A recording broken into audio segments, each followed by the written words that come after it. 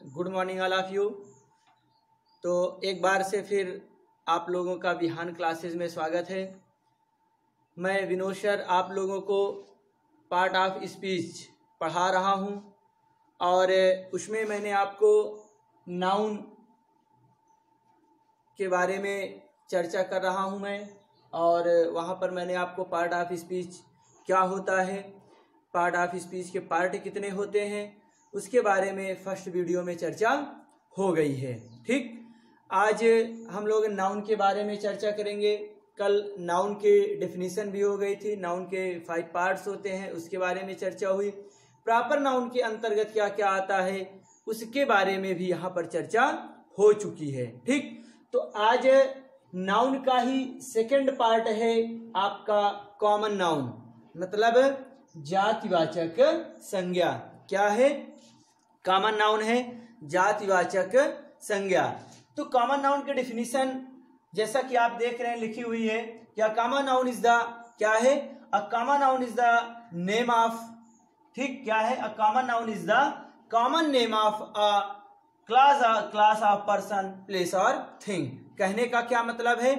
कि a common noun मतलब जो जातिवाचक संज्ञा है, क्या है? कॉमन नेम है। कॉमन नेम मतलब समान। कॉमन मीन्स क्या है यहाँ? समान नाम हो सबका। मतलब कोई एक ऐसा वर्ड आएगा जो सभी के लिए यूज़ किया जाएगा। उस पूरे वर्ग के लिए, पूरे क्लास के लिए यूज़ किया जाएगा। Of a class of person किसका है? मतलब व्यक्तियों के वर्ग का स्थान के लिए कॉमन होगा और थिंग के लिए वो वर्ड क्या होगा? कॉमन होगा। तो उसके लिए क्या है? कॉमन नाउन उसे कहा जाता है। देखिए जैसे यहाँ पर सीधे सीधे आप क्या करेंगे? कॉमन का अर्थ क्या समझेंगे? वो आप समझ जाएँगे तो एक बार में आपको समझ में आएगा। देखिए कॉमन का अर्थ होगा क्या? कॉमन का क्या अर्थ होगा? आ, जो क्या है? जो सब में शामिल हो। कॉमन का क्या अर्थ है? जो सब में शामिल हो। अब सोचिए, सब में शामिल होने का क्या मतलब हो सकता है? कहने का ये मतलब है कि कोई एक ऐसा वर्ड आएगा, कोई एक ऐसा वर्ड जैसे यहाँ पर आएगा तो वो केवल और केवल क्या करेगा? विशेष मतलब पार्टिकुलर प्लेस पर्सन या थिंग के लिए यूज़ नहीं किया जाएगा। जैसे वहाँ पर हम लोग क्या करते थे? प्रॉपर नाउन में प्रॉपर नाउन में क्या बात होती थी? कि वहाँ पर पार्टिकुलर क्या होता था? पार्टिकुलर पर्सन प्लेस और थिंग की बात होती थी। जैसे, राम बोल दिया गया तो किसी पार्टिकुलर पर्सन का नेम हो गया गीता बोला गया तो वो किसी पार्टिकुलर गर्ल या वुमेन का नाम हुआ ठीक जैसे चेयर बोल दिया गया तो क्या है वो? बताइए, वो किसी पार्टिकुलर क्या बोलते हैं? वस्तु का नाम हो गया ठीक तो यहाँ पर क्या है? पार्टिकुलर का प्रयोग ना करके, विशेष का प्रयोग ना करके, जो सब में शामिल हो, ऐसे शब्द यहाँ पर आते हैं। ऐसे शब्द यहाँ पर आते हैं। तो इसीलिए इसी अनुसार इसकी डेफिनेशन ये आपको बनी है कि a common noun is the common a common noun is the common name of a class of person place और थिंग बात समझ में आ रही है? कहने का मतलब यह है कि कॉमन नाउन क्या है? एक ऐसा कॉमन नाम है जो किसी भी, क्या है? व्यक्तियों का वर्ग हो सकता है, स्थान हो सकता है और थिंग हो सकता है, वो नाम सभी के लिए कॉमन होगा। अब बात समझ में आई? तो यहाँ पर कॉमन का अर्थ यही होता है जो सब में हो। अब हम आपको दो चार डिफिनीशन सॉरी एग्ज़ाम्पल देकर समझाते हैं। तो हो सकता है कि आप लोगों को समझ में अधिक आए, फिर उसके बाद आगे चर्चा करते हैं। ठीक, देखिए, यहाँ पर जैसे बोला जाए, क्या? जैसे यहाँ पर अगर आप देखें कि रमेश रमेश क्या है? रमेश इज़ आ, समझिएगा। प्रॉपर नाउन रमेश क्या है? Proper noun but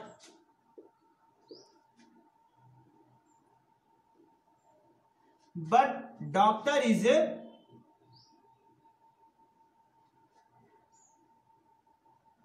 common noun अब यहाँ पर समझिए आप लोग।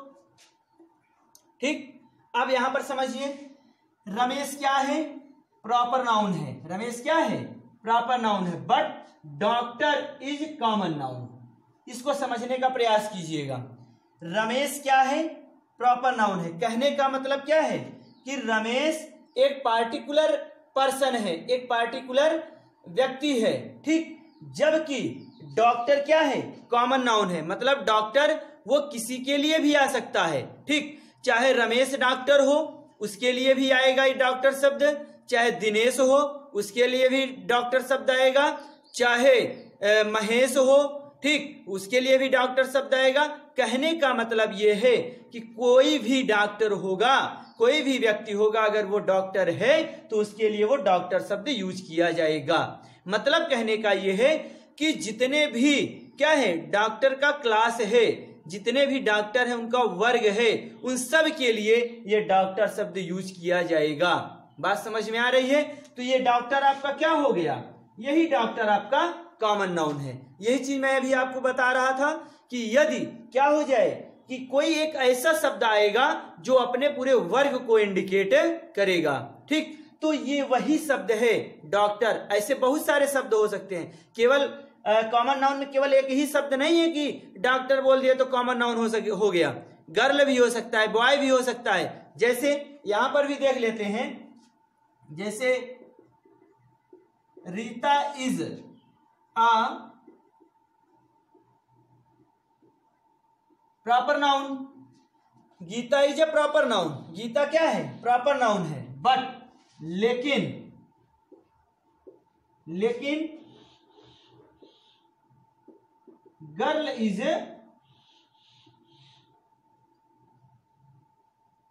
अब समझिए, समझिएगा। क्या है? Rita is a proper noun मतलब गीता क्या है? गीता क्या है? गीता प्रॉपर नाउन है मतलब व्यक्तिवाचक संज्ञा है। सॉरी रीता क्या है? प्रॉपर नाउन व्यक्तिवाचक संज्ञा है। लेकिन ये जो गर्ल शब्द आया है, ये क्या है? कॉमन नाउन है। ये क्या है? कॉमन नाउन है। बात समझने का प्रयास कीजिए। तो जब गर्ल शब्द यूज़ किया जाता है, जब गर्ल वर्ड यूज़ किया जाएगा तो वो केवल और केवल रीता के लिए थोड़ी आएगा। वो केवल और केवल रीता के लिए थोड़ी आएगा। जितनी भी गर्ल्स हैं, चाहे वो रीता हो सीता हो, गीता हो, है ना, सुनीता हो, कुसुम हो, पुष्पा हो, कोई भी हो, सबके लिए एक ही वर्ड आएगा क्या? गर्ल है ना? तो कुल मिलाकर ये जो गर्ल है तो जितनी भी गर्ल्स हैं, उनकी जो कैटेगरी है, उसको ये बताएगा गर्ल्स। बात समझ में आ रही है? तो ये भी क्या है यहाँ से? कॉमन नाउन है। ये क्या है? कॉमन नाउन है। बात समझ में आ रही है? चलिए, जैसे अभी यहीं पर बोल दिया जाए, क्या? Tommy is a proper noun but Tommy is a proper noun but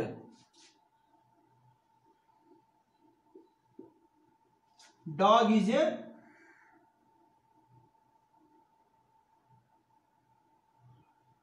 क्या है? कॉमन नाउन बात समझिएगा। अब अगर टॉमी बोला जाता, क्या बोला जाता? यदि टॉमी बोला जाता तो टॉमी क्या होता?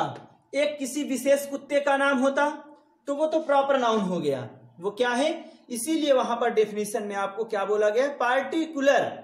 पार्टिकुलर नेम आना चाहिए, विशेष किसी के लिए। ठीक? तो वो क्या हो जाएगा? वो है प्रॉपर नाउन। तो अगर कुत्ते का नाम रखा गया है तो वो प्रॉपर नाउन है। बात समझ में आ रही है? और यदि उसके लिए एक यूज़ किया जाए, डॉग तो वो चाहे पालतू कुत्ता हो, और चाहे गली का कुत्ता हो, और चाहे शेरू हो, बीरू हो, है ना, टॉमी हो, बॉबी हो, कुछ भी नाम हो कुत्ते का तो वो क्या होगा? वो प्रॉपर नाउन होगा। लेकिन जो एक वर्ड यूज़ किया जाएगा, डॉग, वो सबके लिए आएगा, चाहे टॉमी हो शेरू हो, बॉबी हो, कोई भी हो, उसके लिए क्या आएगा? डॉग शब्द आएगा ही आएगा। तो वो जितने भी, चाहे वो गली के कुत्ते हो, चौराहे के कुत्ते हो, सभी के लिए क्या आएगा? डॉग आएगा। तो ये क्या है? डॉग के पूरे वर्ग को इंडिकेट करेगा, उसको दिखाएगा। बात समझ में आ रही है? तो टॉमी क्या है? प्रॉपर नाउन है और डॉग क्या हो जाएगा? कॉमन नाउन हो जाएगा। इतनी बात समझ में आई? इसी तरीके से जैसे इंडिया क्या है? इंडिया क्या हो जाएगा? Proper noun India proper noun but but country is a common noun बात समझ में आ रही है? इंडिया क्या है?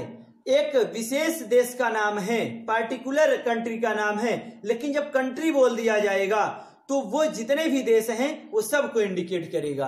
बात समझ में आ रही है? जैसे अभी बोल दिया जाए, Uttar Pradesh is a common noun sorry proper noun Uttar Pradesh क्या है? प्रॉपर नाउन है but state is a common noun मतलब जब राज्य बोला जाएगा तो वो क्या होगा? कॉमन नाउन हो जाएगा और स्टेट क्या हो जाएगा? स्टेट क्या हो जाएगा? Proper sorry Uttar Pradesh proper noun हो जाएगा। इतनी बात समझ में आई? जैसे अभी बोल दिया जाए, प्रयाग, प्रयागराज तो क्या हो जाएगा? Prayagraj is a proper noun but city is a common noun बात समझ में आई? मतलब प्रयागराज स्पेशल क्या किया गया? किसी एक सिटी का नेम ले लिया गया, किसी डिस्ट्रिक्ट का नाम ले लिया गया। तो वो क्या हो जाएगा? वो आपका प्रॉपर नाउन हो गया। और जो उसके लिए, सबके लिए कॉमन वर्ड यूज़ किया जाता है। जैसे अभी बोल दिया जाए प्रतापगढ़ प्रयागराज, फैजाबाद, है ना? कौशाम्बी, इस तरीके से कानपुर, लखनऊ, ये सब जब बोला जाएगा तो वो क्या है? प्रॉपर नाउन है। वो क्या है? प्रॉपर नाउन लेकिन सबके लिए एक वर्ड जब बोल दिया जाए सिटीज़ शहर, है ना? तो सभी शहरों का नाम उसमें आ गया। अब आप चाहे जो भी शहर का नाम उसमें ले सकते हैं। तो सिटी क्या हो गया आपका? कॉमन नाउन मतलब सब के लिए यूज़ किया गया क्या? सिटी या डिस्ट्रिक्ट भी बोल सकते हैं। जिला, वो भी क्या है? कॉमन नाउन के अंतर्गत आएगा। तो ये बात समझ में आई होगी आपको। तो जैसा कि डेफिनेशन से ही लग रहा है कि वो क्या है? कि पर्सन के क्लास, यहाँ क्लास मतलब कक्षा नहीं होगा, वर्ग की बात की जा रही है। मतलब उसके पूरे वर्ग को दिखाएगा किसके प्लेस को भी और थिंग के भी। अब इतनी बात समझ में आ गई होगी, ठीक? तो इसको क्या करें? इरेज कर दें, इतना समझ में आया होगा। तो कुल मिलाकर आपको यहीं से समझना ज़्यादा ज़रूरी था। ये चीज़ अगर आपको समझ में आई है तो आपको कॉमन नाउन समझने में कोई प्रॉब्लम नहीं आएगी, ठीक? चलिए तो इरेज कर दें इसके बारे में और देखते हैं।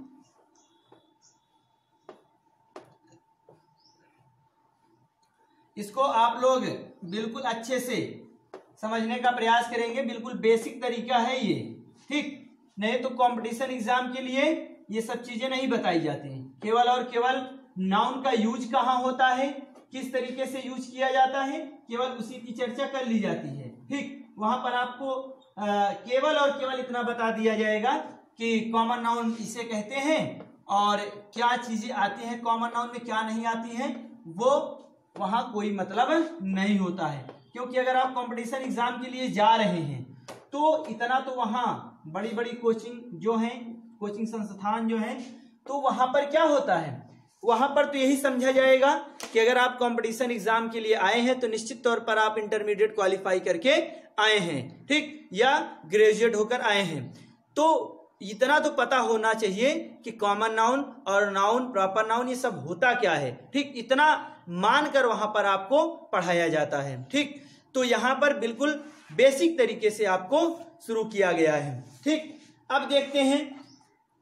कॉमन नाउन के अंतर्गत आता क्या क्या है, उसको आप लोग पहचानने में आसानी हो जाएगी। ठीक पहचानने में क्या आसानी होगी उसको देखिए। सबसे पहले तो है क्या? Name of profession name of क्या है? प्रोफेशन नेम ऑफ़ क्या है? प्रोफेशन प्रोफेशन मतलब क्या समझ रहे हैं? व्यवसाय. मतलब प्रोफेशन व्यवसायों के नाम. अब व्यवसाय क्या है? जैसे आ, क्या हो गया? बार बार हो गया. वाशरमैन हो गया. है ना? धोबी. ठीक? ऐसे ही. और डॉक्टर हो गया. लॉयर हो गया वकील। ये सब क्या है? इसी के अंतर्गत आएँगे मतलब जितने पद हैं। ठीक? फिर उसके बाद क्या आता है आपका इसमें? आ, नेम ऑफ़ फ्रूट क्या है? नेम ऑफ़ फ्रूट्स फलों के नाम। जैसे एप्पल बनाना है ना? एप्पल बनाना मैंगो ऑरेंज तमाम चीज़ें हैं। सब फलों के नाम आ जाएँगे इसमें। नेम ऑफ़ फ्रूट्स ठीक, उसके बाद क्या है नेम ऑफ़ देखिए, कितना बढ़िया है name of vegetables name of name of vegetables ये आ जाएगा नेम ऑफ़ वेजिटेबल्स ठीक, फिर उसके बाद है name of animals name of animals and and और क्या होगा? और क्या होगा? दियर बेबीज मतलब उनके बच्चे भी।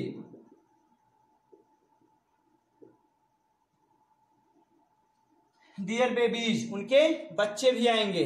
ठीक? अब ऐसा थोड़ी है कि अगर पप्पी बोला जा रहा है मतलब कुत्ते के बच्चे को, पिल्ले को क्या बोला जाता है? पप्पी बोला जाता है। तो अगर बोला जा रहा है तो वो क्या है? वो केवल और केवल एक विशेष कुत्ते के लिए थोड़ी आता है। वो चाहे जो भी कुत्ते का बच्चा हो, सबके लिए वही वर्ड यूज़ किया जाएगा। बात समझ में आ रही है? ठीक। फिर उसके बाद क्या है? नेम ऑफ़ बर्ड ये चीज़ें मैं आपको यहाँ इसलिए बता रहा हूँ। नेम ऑफ़ बर्ड यहाँ से आपको सबसे ज़्यादा प्रॉब्लम कहाँ होती है? आपको जब वर्ड दे दिए जाते हैं आपसे पूछा जाता है कि यहाँ पर कौन सा नाउन है। वहाँ पर आप इसको छाटिए, ठीक, तब प्रॉब्लम हो जाती है कि अरे ये कॉमन नाउन में इसको रखें कि प्रॉपर नाउन में रखें। ज़्यादातर समस्या कहाँ आती है? कॉमन नाउन और प्रॉपर नाउन में ही आती है। कलेक्टिव नाउन भी समझ में आता है मटेरियल भी समझ में आ जाता है, लेकिन प्रॉपर और कॉमन में हमेशा कंफ्यूजन बना रहता है, ठीक? तो यहाँ पर ये चीज़ बिल्कुल क्लियर हो जानी चाहिए आपको। अभी बता रहे हैं कैसे ये सब चीज़ें हो रही हैं। फिर उसके बाद name of insects name of insects ठीक। फिर उसके बाद क्या आएगा? Name of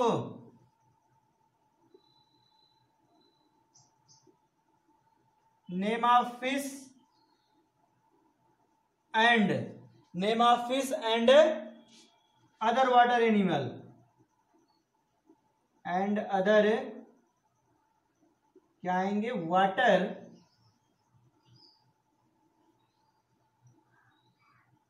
other water animals name आएँगे। ठीक, ये हो गया। अब इसके बाद यहाँ पर लिख देते हैं। एच नंबर है आपका। नेम ऑफ़ प्लेसेस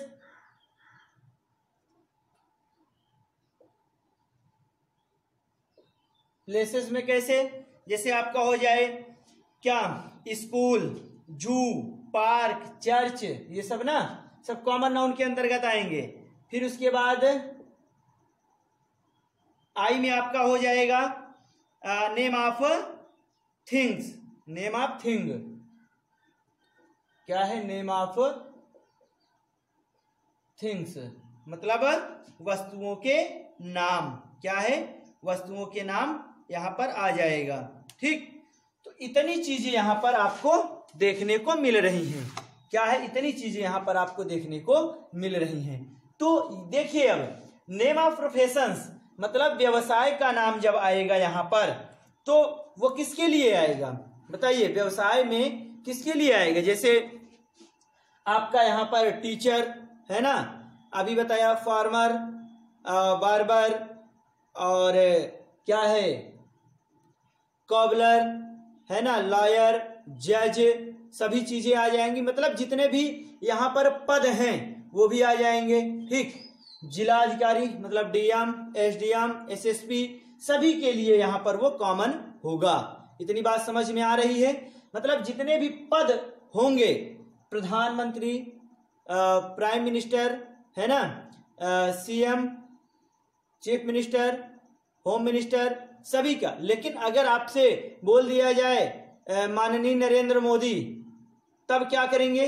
यदि आपसे माननीय नरेंद्र मोदी बोल दिया जाए, तब वो प्रॉपर नाउन हो जाएगा।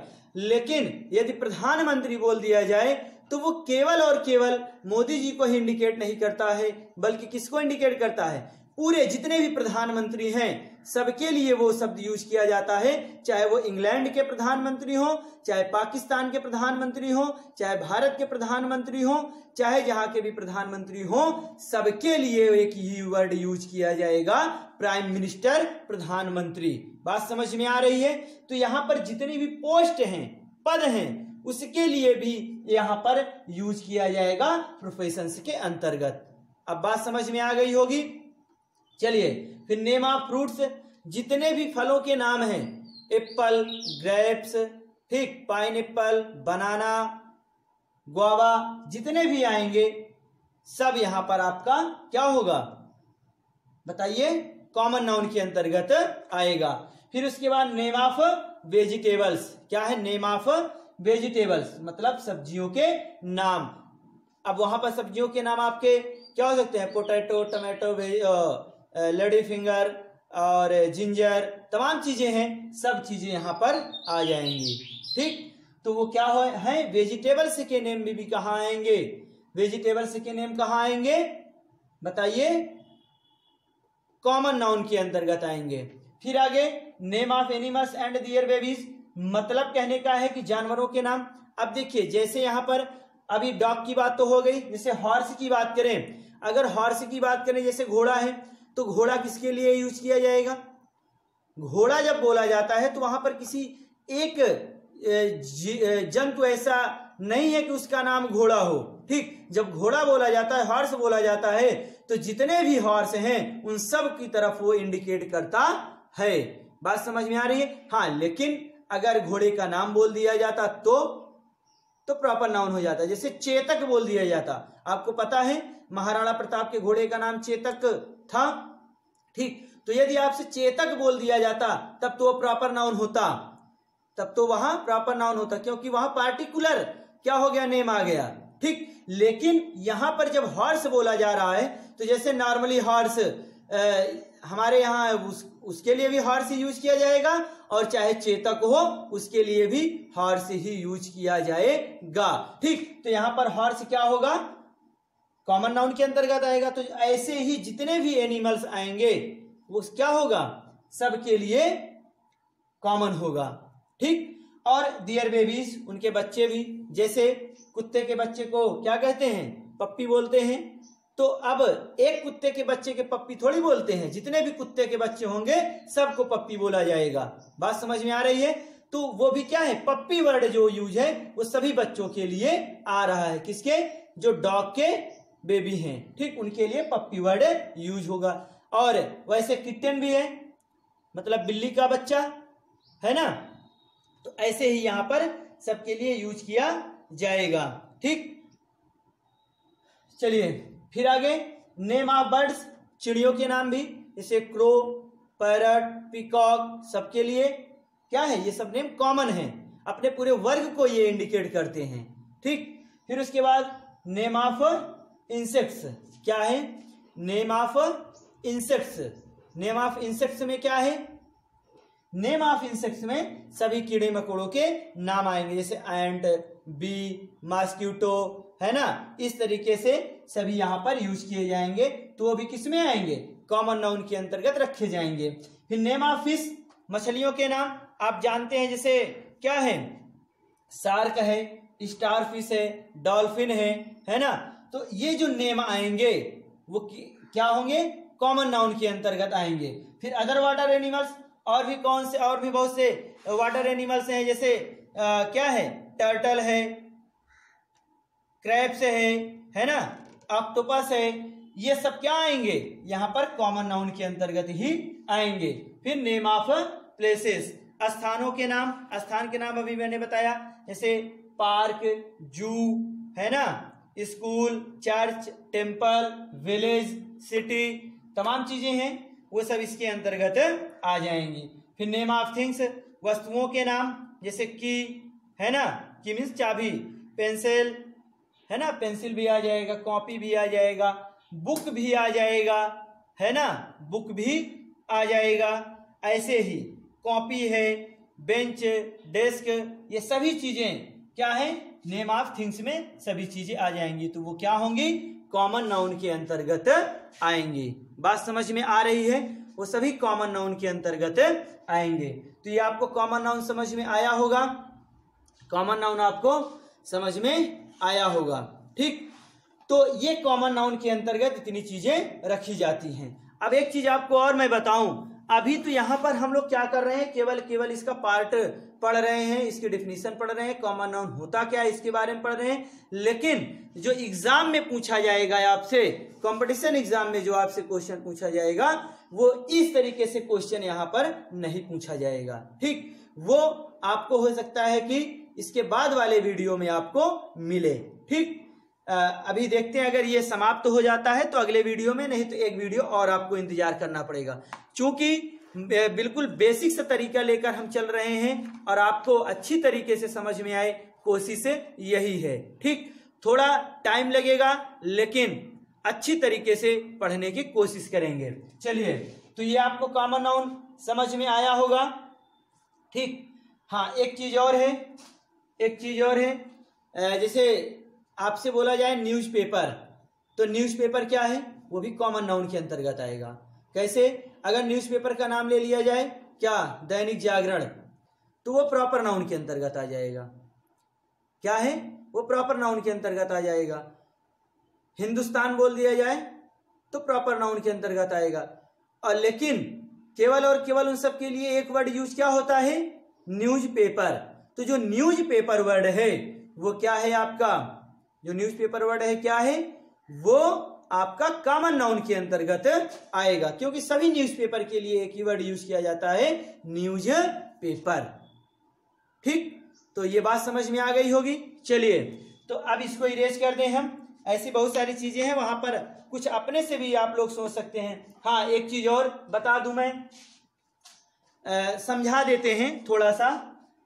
इसको इरेज कर रहे हैं। आप लोग नोट से बना रहे होंगे तो इसको अच्छी तरीके से लिख लेंगे तो पूरे जीवन भर आपको काम देगा।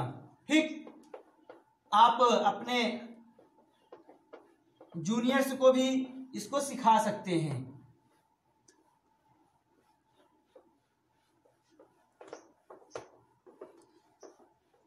चलिए तो हम थोड़ा सा एग्ज़ाम्पल और देख लेते हैं।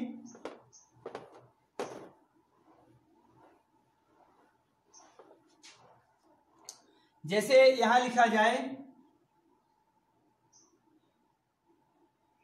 the Ganga is a proper noun. क्या है? गंगा क्या है? प्रॉपर नाउन है। गंगा क्या है? प्रॉपर नाउन है। ठीक? गंगा प्रॉपर नाउन है। But river but rivers are sorry river is ऐसे रिवर प्ले करते हैं। रिवर इज़ क्या है? कॉमन नाउन बात समझ में आ रही है? गंगा क्या है? गंगा प्रॉपर नाउन है। देखिए, नदी का नाम आ गया, गंगा। ठीक? वो प्रॉपर नाउन है। लेकिन जो रिवर वर्ड है, ठीक? ये जो रिवर वर्ड है, ये क्या कर रहा है? ये सभी नदियों को इंडिकेट करेगा। चाहे वो यमुना आए चाहे गंगा आए नर्मदा, कावेरी, कृष्णा, गोदावरी, ब्रह्मपुत्र, तमाम तरीके की नदियाँ हैं, उन सब के लिए एक ही वर्ड यूज़ किया जाएगा रिवर ठीक? तो यदि नदियों का नाम आ जाएगा तो वहाँ पर क्या करेंगे? गंगा प्रॉपर नाउन और केवल रिवर अकेले दे देगा तो क्या हो जाएगा? कॉमन नाउन ठीक? तो ये चीज़ समझ में आई? चलिए। ऐसे एक और बात है, जैसे लिख, लिखा जाए, क्या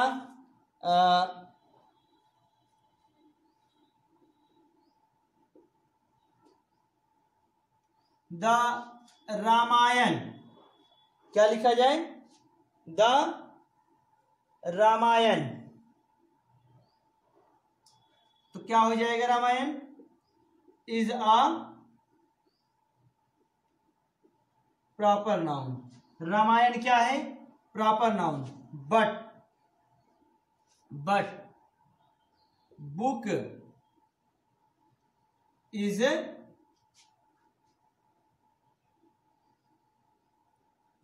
common noun बात समझ में आ रही है? रामायण क्या है? प्रॉपर नाउन है। रामायण क्या है? प्रॉपर नाउन है। लेकिन जो बुक है, वो क्या हो जाएगा? जो बुक है वो क्या है? जो बुक वर्ड है ये सभी के लिए आएगा। वो चाहे वो चाहे क्या हो? वो चाहे रामायण हो महाभारत हो है ना? आ, कुमार संभवम हो कोई भी बुक हो सबके लिए एक वर्ड यूज़ किया जाएगा क्या? बुक। सबके लिए क्या यूज़ किया जाएगा? बुक। बात समझ में आ गई होगी? ठीक। तो इस तरीके से आपका कॉमन नाउन क्या हुआ? समाप्त हुआ। ठीक? और इसको आप अच्छे से, अपने से भी समझने का प्रयास कीजिएगा। इसको इरेज कर रहे हैं। अब हम इसका अगला पार्ट पढ़ेंगे। इसका हम अगला पार्ट देखेंगे। क्या? कलेक्टिव नाउन के बारे में। ठीक? इसका हम अगला पार्ट देखेंगे क्या? Collective noun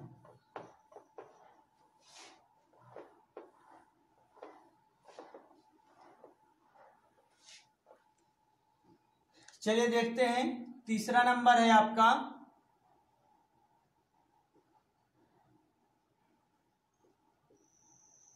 Collective noun. ठीक?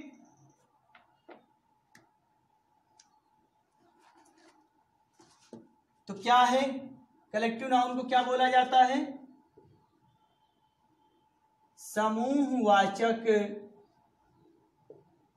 संज्ञा। ठीक कलेक्टिव नाउन क्या है? समूहवाचक संज्ञा इसको बोला जाता है। ठीक तो यहाँ पर क्या है?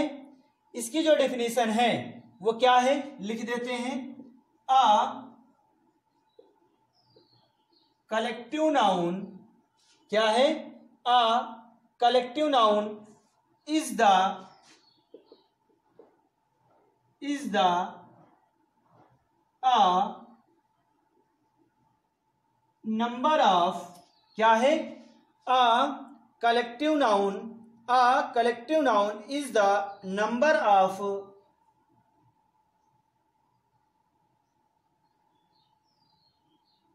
a collective noun is the name of ऐसे होना चाहिए था।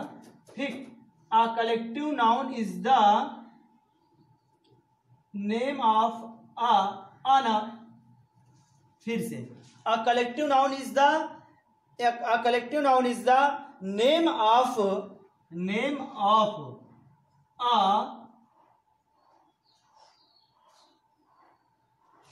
a number क्या है? अ नंबर ऑफ़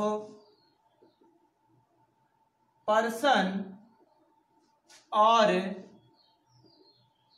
पर्सन और thing things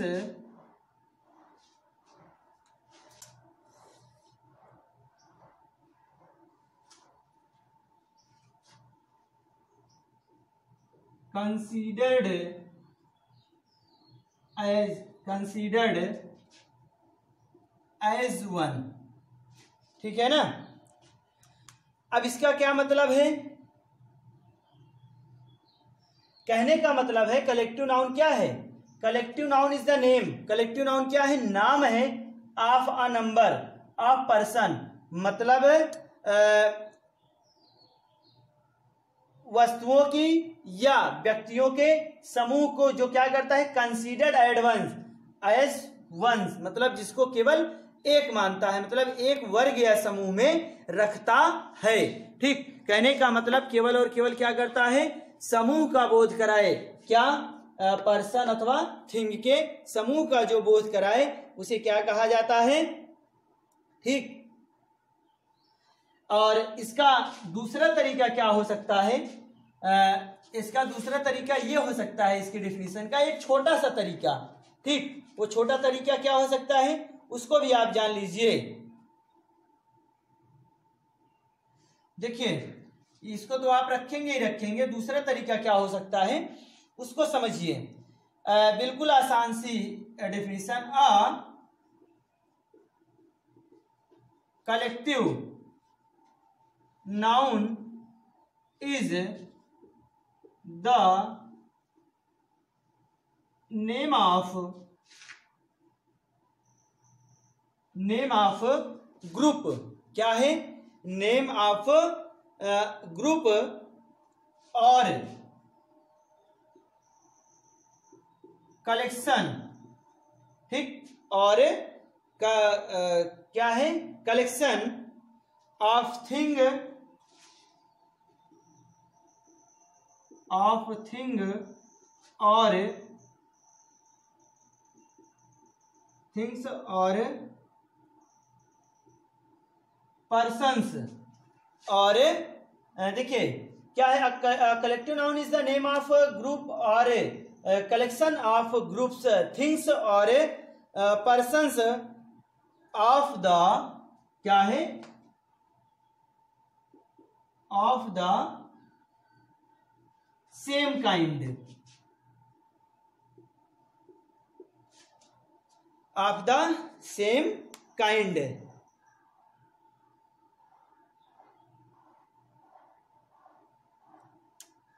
of the same kind क्या है? टेकन टुगेदर बात समझ में आ रही है? अब देखिए, यहाँ पर क्या है? आपको दो तरीके से चीज़ें आपको वही कही गई है। क्या है? A collection sorry a collective noun is the name of a number of person और थिंग्स कंसिडर्ड एज वन मतलब कह रहे हैं कि कलेक्टिव नाउन क्या है? नाम है किसके व्यक्तियों के या वस्तुओं की संख्याओं का, उनकी नंबर का, उनके समूह का, जिस जो क्या होता है? कंसीडर्ड माना जाता है एज वन केवल एक। मतलब एक के रूप में वो माना जाता है, केवल एक समूह के रूप में माना जाए। और दूसरा क्या है? A collective noun is the name क्या है? Of group of a group कर दीजिए। ठीक? तो क्या है? अ कलेक्टिव नाउन मतलब कलेक्टिव नाउन समूहवाचक संज्ञा इज़ द नेम नाम ऑफ़ अ ग्रुप समूह का और कलेक्शन अथवा इसका भी मतलब क्या है? समूह ऑफ़ थिंग्स वस्तुओं का और पर्सन व्यक्तियों का ऑफ़ द सेम काइंड मतलब उसी वर्ग के या उसी जाति के. क्या है? उसी प्रकार के व्यक्तियों, वस्तुओं का समूह होता है टेकन टुगेदर जो साथ लिया गया है. ठीक? जो साथ लिया गया है, ऐसे ही समूह को क्या कहा जाता है? कलेक्टिव नाउन कहा जाता है। मतलब किसी का भी समूह हो, समूह का नाम हो, उसे क्या कहा जाता है? कलेक्टिव नाउन कहा जाता है। ठीक, उसे क्या कहा जाता है? कलेक्टिव नाउन कहा जाता है। अब देखिए, जैसे यहाँ पर क्या है? उसके लिए देखते हैं, इसको इरेज कर दें। आप लोग डेफिनेशन को अच्छी तरीके से लिख लीजिएगा। दो दो डेफिनेशन है। इरेज कर दें। चलिए, ठीक। अब इसके बाद कलेक्टिव नाउन की पहचान कैसे करेंगे? वो सबसे ज़्यादा ज़रूरी है देखना। कलेक्टिव नाउन की पहचान कैसे करेंगे? वो कुछ शब्द मैं आपको बता रहा हूँ, कुछ वर्ड के बारे में चर्चा कर रहा हूँ। उसको आप लोग समझने का प्रयास कीजिएगा।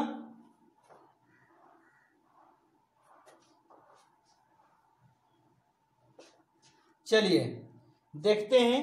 तो वहाँ पर जो आपका है वो है क्लास ये भी क्या करता है? समूह को दर्शाता है। वर्ग कक्षा ठीक। टीम टीम भी क्या है? आ, कम से कम छ सात लोगों का चार लोगों का दो लोगों का समूह होता है। तभी टीम बनती है है ना? और क्लास कब बनता है? जब वहाँ पर विद्यार्थियों का समूह हो या लोगों का वर्ग हो, अभी क्लास ऑफ़ पर्सन बताया था ना, उसके बारे में यहाँ पर चर्चा की जा रही है। अब उसके बाद आपका इसमें आ जाएगा क्या? बैंड बैंड मतलब क्या होता है? दल। बैंड मीन्स क्या होता है? दल। मैं वर्ड मीनिंग भी बता रहा हूँ। जहाँ पर प्रॉब्लम होगी, आप लोग वहाँ इंडिकेट कर लीजिएगा। फिर क्राउड क्राउड मीन्स क्या होता है? भीड़। क्राउड मीन्स क्या होता है? भीड़। फैमिली फैमिली मीन्स परिवार। फिर आपका है गैंग।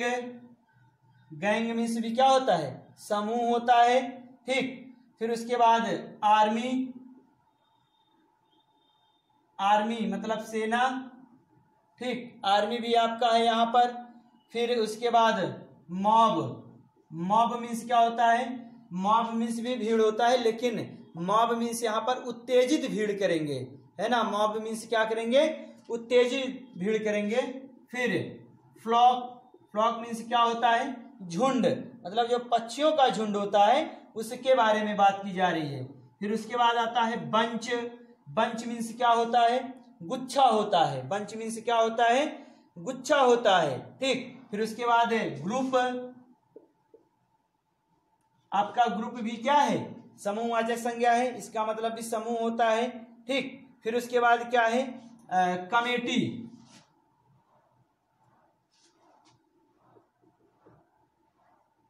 क्या है? कमेटी। अब कमेटी में क्या है? डबल ही रहेगा। C O double M I double T double E ठीक। तो कमेटी क्या है आपका? समिति हो गई। तो इस तरीके से ये जो वर्ड हैं, इस तरीके से आपके ये जो वर्ड हैं ये किस रूप में यूज़ किए जाते हैं? कलेक्टिव नाउन के रूप में आते हैं। जब आपसे दिया जाए तो वहाँ पर आपसे कलेक्टिव नाउन पूछ लिया जाएगा। ठीक। जैसे एक वर्ड और ले लेते हैं। ट्रूप ट्रूप मीन्स भी होता है समूह। ट्रूप मतलब भी होता है समूह। लेकिन किसका समूह? बंदरों का समूह। ट्रूप मीन्स क्या होता है? बंदरों का समूह। जैसे यहाँ पर बोल दिया जाए आपसे a troop of monkey a troop of monkey मतलब बंदरों का समूह। क्या बोल दिया जाए? बंदरों का समूह। तब क्या हो जाएगा? ये भी आपका क्या है? कलेक्टिव नाउन के अंतर्गत आएगा। ठीक। इस तरीके से ये सभी चीज़ें क्या हैं?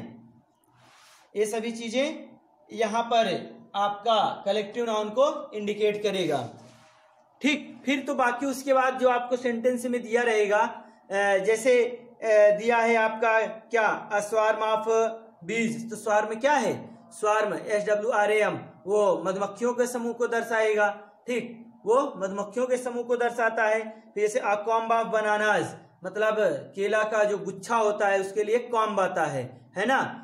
Comb, C O M B. तो वहाँ पर भी वो केले के समूह को दर्शा रहा है। ऐसे ही जैसे shoal. S H O L shoal. Shoal ये क्या है? सोला, सोल ऑफ़ वेल मतलब वेल मछली के समूह को दर्शाएगा। तो इस तरीके से जो आपके वर्ड आएँगे, वो कलेक्टिव नाउन को इंडिकेट करते हैं। वो क्या करते हैं? कलेक्टिव नाउन को इंडिकेट करते हैं। तो बात समझ में आ गई होगी? चलिए, अब इसके बाद हम बात करते हैं क्या? इतना आपको समझ में आया होगा? कलेक्टिव नाउन समझ में आ गया होगा? ठीक। अब उसके बाद क्या है? मटेरियल नाउन के बारे में हम चर्चा कर लेते हैं। किसके बारे में? मटेरियल नाउन के बारे में भी हम चर्चा करेंगे।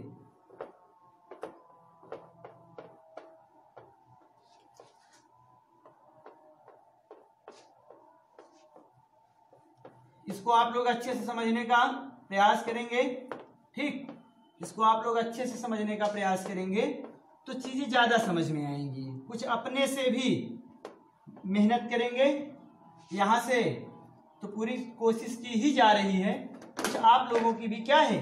ज़िम्मेदारी बनती है। कुछ आप लोगों की भी ज़िम्मेदारी बनती है कि चीज़ों को कंप्लीट करें।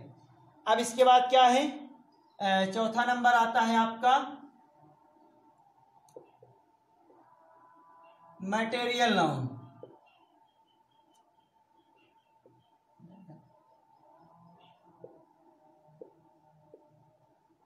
क्या है? मटेरियल नाउन ठीक? मतलब पदार्थवाचक संज्ञा। क्या है? पदार्थवाचक संज्ञा। ठीक? इतना आपको कलेक्टिव नाउन तक अच्छे समझ में आया होगा।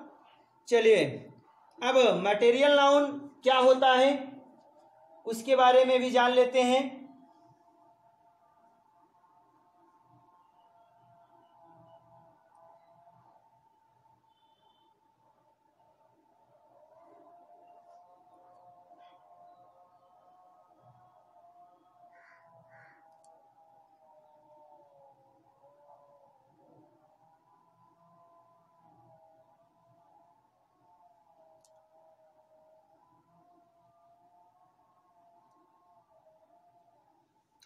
चलिए तो मटेरियल नाउन में आपका जो है मटेरियल नाउन क्या है? वो देखिए। इसकी डेफिनेशन क्या है? आ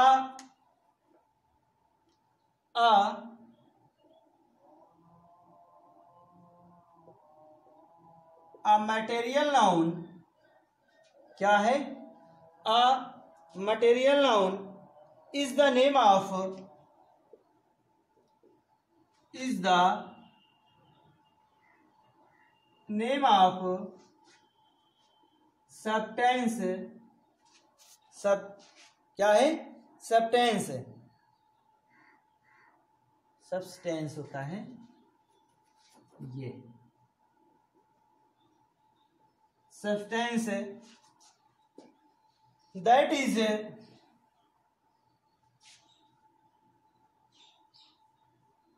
substance.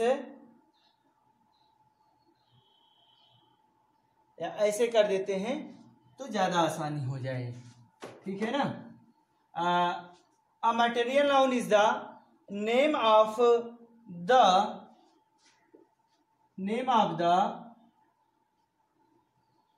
matter name of the matter या सब्सटेंस इसको भी बोल सकते हैं। Of which of which things are things are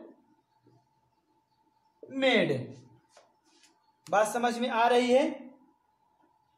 things of made मतलब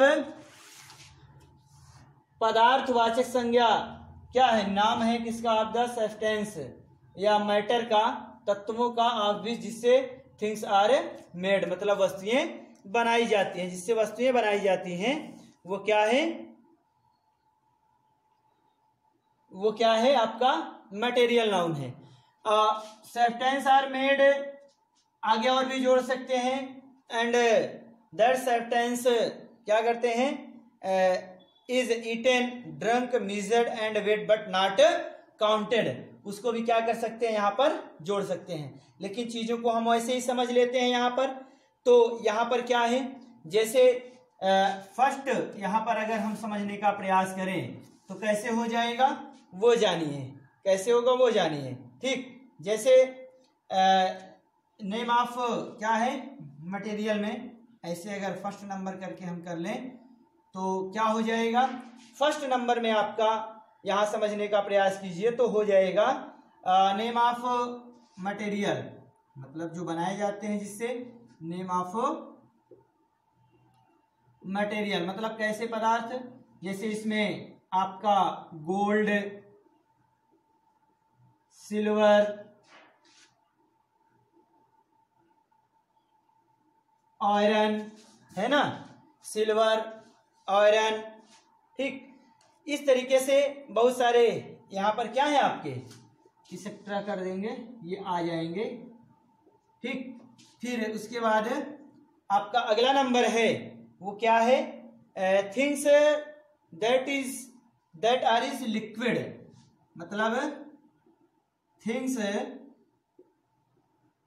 things that are that are in liquid form मतलब जो क्या है? द्रव रूप में है। ठीक, क्या है? द्रव रूप में है। जैसे इसमें आपका क्या हो जाएगा? ऑयल है ना? ऑयल वाटर है ना? ऑयल है वाटर है है ना? डीजल है. क्या है? डीजल है पेट्रोल है. ठीक, इस तरीके से आपका जो है मिल्क है. ठीक ये क्या है आपके? जो थिंग्स क्या है लिक्विड फॉर्म में होती हैं, वो भी मटेरियल नाउन के अंतर्गत आएँगी। वो भी क्या है? मटेरियल नाउन के अंतर्गत आएँगी। और अगला नंबर है, वो आपका है मटेरियल मटेरियल्स फ्रॉम क्या है? Materials from materials from which things are made है ना? विच थिंग्स आर मेड मतलब वस्तुएँ ऐसे पदार्थ जिनसे वस्तुएँ बनाई जाती हैं ऐसे पदार्थ जिनसे वस्तुएँ बनाई जाती हैं। जैसे आ, क्या है आपका? यही लिख देते हैं। सीमेंट है। क्या है? सीमेंट है है ना? उड है। क्या है? उड है। सिल्क है। सिल्क है और ऊल है। इटीसी एक्सेट्रा अब यहाँ पर एक बात समझने की क्या है, उसको जानिए पहले। एक तो पहली बात मटेरियल का नाम है गोल्ड सिल्वर कहने का मतलब जितनी भी धातुएँ हैं, ठीक है ना? जितनी भी धातुएँ हैं, वो क्या है? मटेरियल नाउन है। फिर things that are in liquid form जो भी वस्तुएँ लिक्विड फॉर्म में होती हैं, वो क्या है? आपका oil water diesel petrol milk ये सब चीज़ें हैं लिक्विड फॉर्म में होती हैं, ठीक? Material form which things are made मतलब ऐसे मटेरियल जिनसे वस्तुएँ बनाई जाती हैं, जैसे सीमेंट वुड सिल्क, वूल, है ना? जैसे अगर आपसे बोला जाए, चेयर तो चेयर क्या हो जाएगी? चेयर तो हो जाएगी कॉमन नाउन लेकिन उड बोला जाएगा तो मटेरियल नाउन क्योंकि लकड़ी से कुर्सी चेयर बनी है। बात समझ में आ रही है? तो इस तरीके से जो फार्म होगा वो क्या होगा?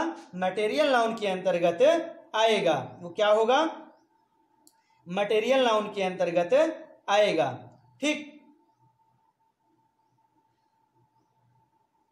तो इस तरीके से आपका क्या है? अब जैसे यहाँ पर क्या है? जैसे सीमेंट की बात की जाती है तो सीमेंट से क्या बनता है? घर बनता है हाउस तो हाउस क्या है? कॉमन नाउन है, लेकिन सीमेंट क्या हो जाएगा? मटेरियल नाउन हो जाएगा। ठीक। तो ये आपको मटेरियल नाउन और कॉमन नाउन समझ में आ गया होगा। मटेरियल नाउन और कॉमन नाउन आपको समझ में आ गया होगा। चलिए, अब आज ही हम देख लेते हैं क्या अब्स्ट्रैक्ट नाउन के बारे में भी चर्चा कर लेते हैं। क्या है? अब्स्ट्रैक्ट नाउन भी देख लेते हैं।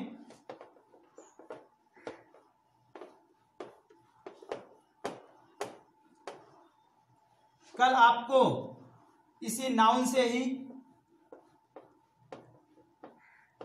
कंपटीशन लेवल का जो क्वेश्चन बनता है आपके एग्ज़ाम में कंपटीशन लेवल का जो क्वेश्चन बनता है, उसके बारे में हम लोग चर्चा करेंगे। ठीक मेन टारगेट तो वही है, लेकिन ये बेसिक चीज़ें हैं, इसको जान लेना सबसे ज़्यादा ज़रूरी है। तब चीज़ें वहाँ से समझ में आ जाएँगी। तब चीज़ें वहाँ से समझ में आएँगी। ठीक हाँ एक बात और आती है काउंटेबल नाउन और अनकाउंटेबल नाउन की तो उसके बारे में भी हम चर्चा करेंगे। लेकिन अभी यहाँ पर हम क्या करेंगे? अब्स्ट्रैक्ट नाउन के बारे में चर्चा करेंगे। ठीक, क्या करेंगे? अब्स्ट्रैक्ट नाउन मतलब भाववाचक संज्ञा। ठीक, क्या है? भाववाचक संज्ञा के बारे में चर्चा होगी। देख लेते हैं अब्स्ट्रैक्ट नाउन भी।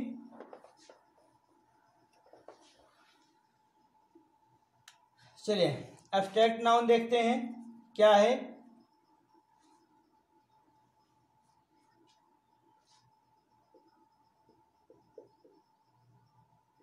एब्स्ट्रैक्ट नाउन मतलब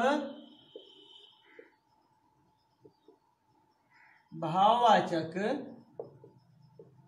संज्ञा। ठीक? क्या है? भाववाचक संज्ञा। इसको तो आप लोग सभी लोग जानते हैं। कि एब्स्ट्रैक्ट नाउन में क्या होता है? फीलिंग क्वालिटी एक्शन और स्टेट अवस्थाएँ आती हैं, ठीक? तो इसका क्या हो जाएगा?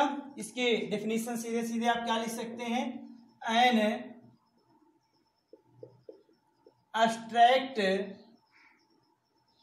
an abstract noun noun is the name of some क्या हो जाएगा सम? फीलिंग क्या है? फीलिंग क्वालिटी और क्वालिटी एक्शन भी, है ना, क्रियाकलाप। एक्शन और स्टेट मतलब अवस्था। ठीक अब्स्ट्रैक्ट नाउन क्या है? फीलिंग क्वालिटी एक्शन और स्टेट का क्या होता है? नाम होता है। बात समझ में आ रही है? ठीक। एक चीज़ और इसके साथ होता है। अब्स्ट्रैक्ट नाउन क्या होता है? अब्स्ट्रैक्ट ऐसे लिखेंगे। An abstract noun only can be felt only can be felt मतलब केवल महसूस किया जा सकता है। केवल महसूस किया जा सकता है। इट क्या हो जाएगा? It it can not it can not be seen और टच टच्ड ठीक? मतलब यह ना तो क्या होता है? सुना जा सकता है, ना तो देखा जा सकता है, ना तो इसको सुना जा सकता है सॉरी छुआ जा सकता है। बात समझ में आ रही है? अब्स्ट्रैक्ट नाउन क्या है? अब्स्ट्रैक्ट नाउन भाव, गुण एक्शन और अवस्था का नाम होता है abstract noun only can be felt मतलब भाववाचक संज्ञा को केवल महसूस किया जा सकता है। भाववाचक संज्ञा को क्या किया जा सकता है? केवल महसूस किया जा सकता है। It can not be seen और टस्ड मतलब यह क्या है? देख ना तो देखा जा सकता है और ना तो छुआ जा सकता है। क्योंकि इसमें क्या होता है? ना तो इसमें वेट होता है ना तो इसकी साइज़ होती है ना तो इसमें शेप होता है कुछ नहीं होता है। ठीक? वनली क्या हो सकता है ये? फेल्ड किया जा सकता है केवल महसूस किया जा सकता है। बात समझ में आई? तो यहाँ पर आ, कुछ वर्ड आप देख लेंगे। ठीक? यहाँ पर हम कुछ वर्ड्स की बात कर लेते हैं। कौन कौन से आते हैं? जैसे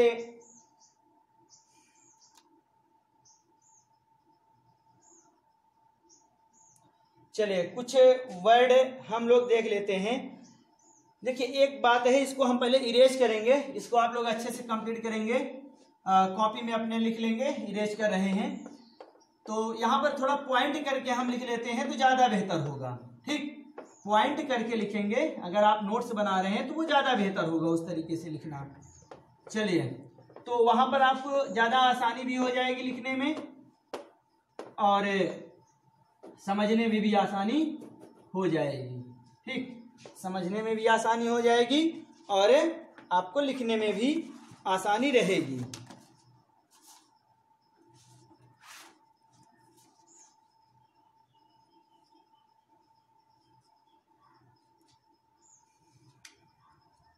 इसमें क्या है आपका? वो देखिए।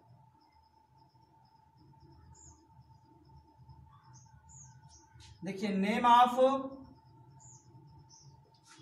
name of merits और मेरिट्स और डिमेरिट्स क्या है? मेरिट्स और डिमेरिट्स मेरिट्स और डिमेरिट्स ये आएगा। इसका क्या मतलब है? मतलब आपके गुण या दोष। जैसे क्लीवरनेस, काइंडनेस, है ना? ये सब, ऑनेस्टी, विजडम, ये सभी इसमें आपके आएँगे। बात समझ में आ रही है? ये सभी चीज़ें इसमें आएँगी। जैसे लिख देते हैं दो चार वर्ड, ऑनेस्टी, विजडम, ठीक, ऑनेस्टी, विजडम। क्या है? क्लीवरनेस है ना? इसेक्ट्रा कर देते हैं। इस तरीके से यहाँ पर आपके वर्ड आ जाएँगे। पॉवर्टी भी है, गरीबी भी। नहीं पॉवर्टी दूसरे में आएगा कंडीशन में आएगा। ठीक? क्या है? नेम ऑफ़ ऐसे कर देंगे। नेम ऑफ़ कंडीशंस और। कंडीशंस और क्या कर देंगे? स्टेट या अवस्था। ठीक, इसमें आपका क्या आ जाएगा जैसे चाइल्डहुड है ना? चाइल्डहुड मतलब क्या है? बचपना, ठीक है ना? पॉवर्टी गरीबी, क्या है? पॉवर्टी है मतलब गरीबी है, फिर उसके बाद क्या है? फ्रीडम, आज़ादी। क्या है? फ्रीडम, आज़ादी है। इसेक्ट्रा कर देंगे। ये सब चीज़ें यहाँ पर आपको मिल जाएँगी। ठीक? यहाँ पर ये सब चीज़ें आपको मिल जाएँगी। फिर उसके बाद अगला नंबर आपका आता है। क्या? Name of name of verbal noun क्या है? Name of verbals noun. अब वर्बल्स नाउन क्या होता है? वर्बल नाउन का कहने का मतलब ये है आपका कि वहाँ पर सीधे सीधे आपको वर्ब जो है वो जब नाउन के रूप में यूज़ करने ल, करने लगते हैं ठीक है ना? तो वो क्या होता है? वो आपका अब्स्ट्रैक्ट नाउन के अंतर्गत आएगा। जैसे वॉकिंग होता है ना? वॉकिंग बोलते हैं ना लोग सुबह की वॉकिंग पर गए हैं, ठीक है ना? तो वो है टहलना, है क्रिया के रूप में ही आएगा। क्या है? आएगा क्रिया के रूप में ही। लेकिन वो क्या है? फिर आगे, जैसे राइटिंग अब यहाँ राइटिंग लिख रहा है नहीं। राइटिंग मतलब लिखावट। क्या है? राइटिंग मतलब क्या हो जाएगा? लिखावट। ठीक? फिर उसके बाद जैसे आ जाए यहाँ पर क्या आपका?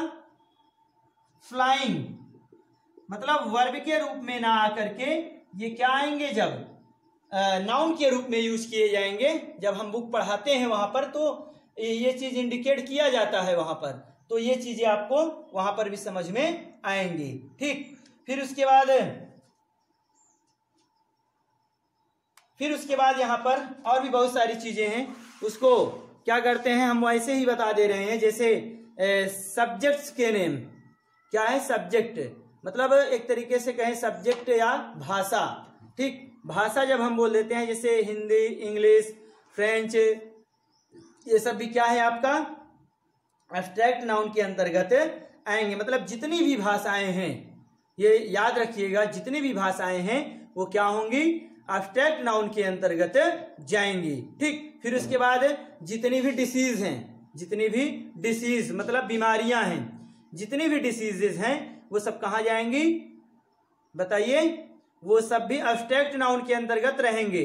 जैसे कैंसर डायबिटीज़ डिसेंट्री है ना? ये सभी बीमारियाँ भी क्या हैं?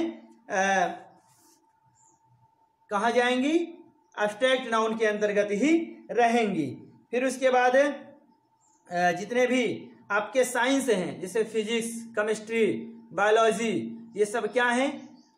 मतलब जितने एक तरीके से कहें तो जितने सब्जेक्ट्स हैं, मैथमेटिक्स, ये सभी किसमें हैं? आपके अब्स्ट्रैक्ट नाउन के ही अंतर्गत आते हैं। वो सभी क्या हैं? अब्स्ट्रैक्ट नाउन के अंतर्गत ही आएँगे। तो इतना आपको समझ में आ गया होगा। इतनी चीज़ें आपको समझ में आई होंगी। ठीक। तो ये इस तरीके से आपका क्या हुआ? नाउन के पार्ट्स नाउन के पार्ट्स कंप्लीट हुए। और अब हम अगले वीडियो में आपसे, अभी नाउन पर ही हम रहेंगे, क्योंकि अभी नाउन कम से कम आपका तीन चार दिन चलने वाला है।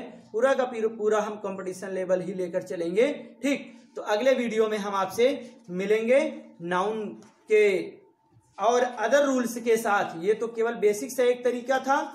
ये क्या था? एक बेसिक तरीका था। हम मिलेंगे आपसे अगले वीडियो में। तब तक आप लोग इसको क्या करेंगे? कंप्लीट करेंगे। ठीक, यदि आपको वीडियो पसंद आया होगा तो आप क्या करेंगे? लाइक और शेयर ज़रूर करेंगे। ठीक तो हम मिलते हैं अगले वीडियो में।